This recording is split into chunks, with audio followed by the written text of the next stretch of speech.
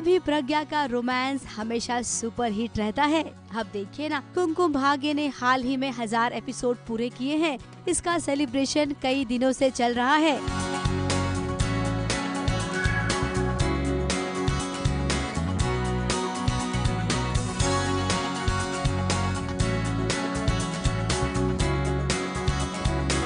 अभी और प्रज्ञा आपसे जब भी मुलाकात होती है, आप दोनों एकदम तरोताजा नज़र आते हैं। शायद यही वजह है कि हमें भी आपसे मिलना बहुत अच्छा लगता है।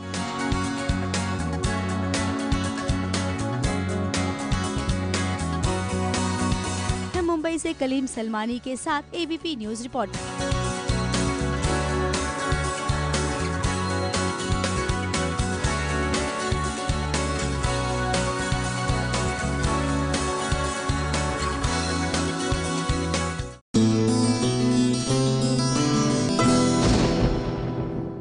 ये है एबीपी न्यूज़ आपको रखे आगे।